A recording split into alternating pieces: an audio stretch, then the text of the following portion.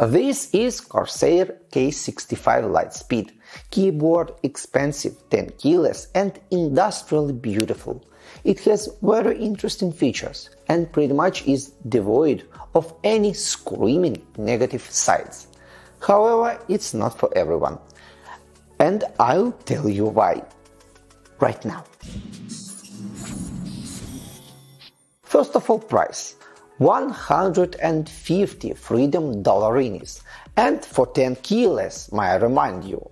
By the way, if you agree with this reminder, then well, you should not Google prices for boutique keyboards, wired or wireless ones. Ah, I'll show you anyway. And if you listen to videos, then you'll be lucky and happy in lack of knowledge. And by the way, K65 is not very wireless at all. I mean, look at this thick snaky boy. I once saw a liquid cooler with cables less thick than this. And yes, it does not like to cooperate and bend. However, it is okay. Not great, but okay. Cable is very quality, is very nice and very reliable.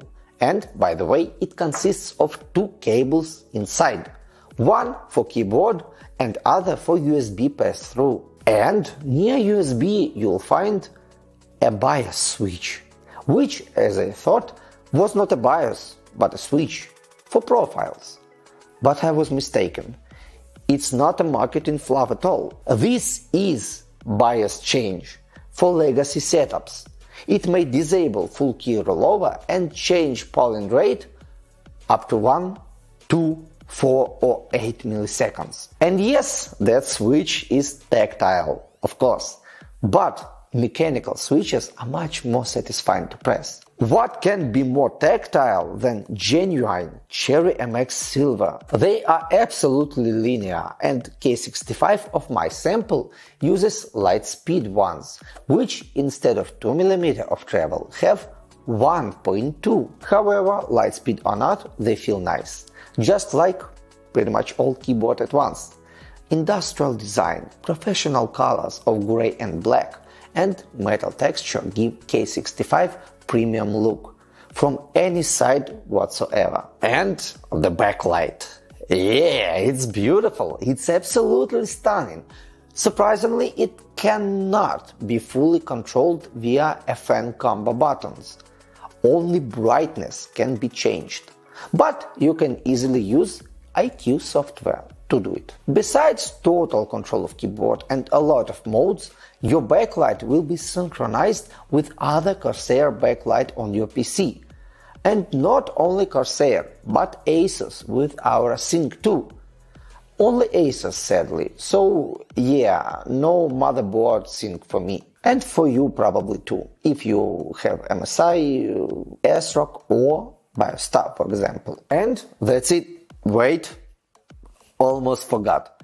I almost forgot. This block button is not RGB, which is very strange because all other buttons are. And it is very strange to see it glowing red while other keyboard, all of keyboard, just full rainbow beauty at all the keys. It's strange. Not bad, just strange. And still, Corsair K65 Lightspeed is awesome. Pricey but fast, reliable, industrial and beautiful. It will be very useful for a cyber athlete on the move because of its size and, well, performance is up at the top. So yeah, recommended. And what about you? Will you be happy with 10 keyless or numpad is like gold for you? Comments are all yours. Huge thanks to Mebelog Shop for providing a place to shoot a video.